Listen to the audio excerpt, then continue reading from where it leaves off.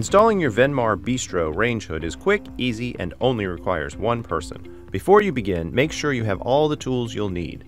Measuring tape, Phillips screwdriver, flathead screwdriver, drill with a 1 8 inch bit, 7 64 inch bit, 3 8 inch bit, and a 1.5 inch hole saw, a jigsaw, sheet metal shears, pliers, metal foil duct tape, scissors, pencil, wire stripper, strain relief, and safety gear.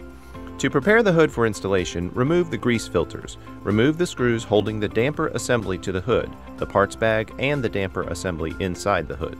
Remove the wire cover, the round duct plate, and the electrical power cable knockout. There are four options for ducting your range hood. Vertical, horizontal, round, and ductless. For vertical ducting using the included damper, remove the 3 and a quarter inch knockout on top of the hood. Attach the damper to the hood, attach a small piece of ducting to the top of the damper, and seal the connection using metal foil duct tape. For horizontal ducting using the damper, remove the rectangular knockout on the back of the hood. For vertical ducting using round duct pipe, remove the round duct knockout on top of the hood. Then replace the duct plate and attach the duct pipe to the hood using metal foil duct tape, making sure the joint is airtight. For ductless installation, remove the three screws holding the recirculation cover plate to the hood. Discard the plate and the screws. No other duct knockouts should be removed for ductless installation. Use the included template to mark the cabinet for the hood. Measure and mark the hood's center line on the bottom of the cabinet. Then, line up the template with the line that you drew on the cabinet. If you have a framed cabinet, fold over the rear edge of the template so the depth matches the cabinet frame at the wall.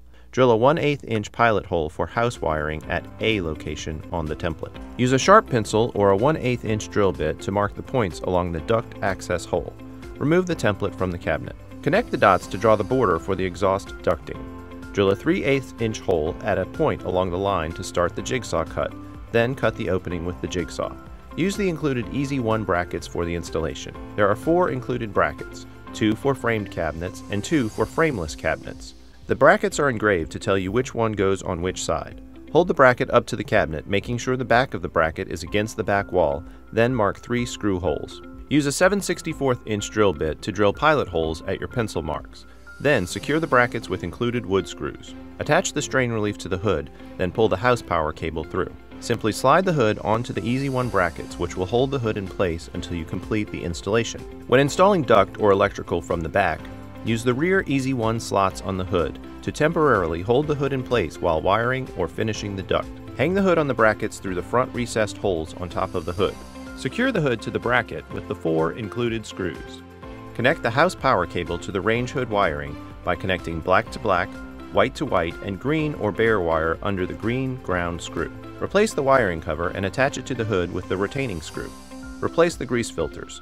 For ductless installation, you'll need to purchase non-ducted filters from a local retailer and install according to their instructions. Your Venmar Bistro range hood is ready for use.